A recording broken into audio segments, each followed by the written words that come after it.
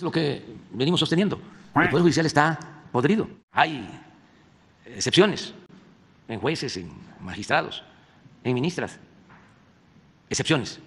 Pero la regla es de que ese poder está tomado, está secuestrado, está al servicio de la mafia, del poder económico y del poder político. Por eso hay que reformar el Poder Judicial y lo tiene que hacer el pueblo en la elección para que se pueda reformar la Constitución en el Congreso. Desde luego para eso se necesita contar con mayoría, no simple sino calificada. No es la mitad más uno, sino dos terceras partes de los legisladores.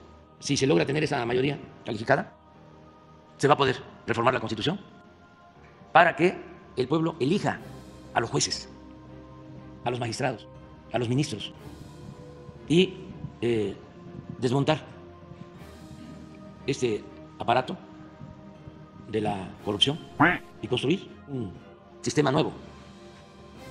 Y es la única forma, porque si no, van a seguir eh, los jueces dando, otorgando impunidad a delincuentes del crimen y a delincuentes de cuello blanco.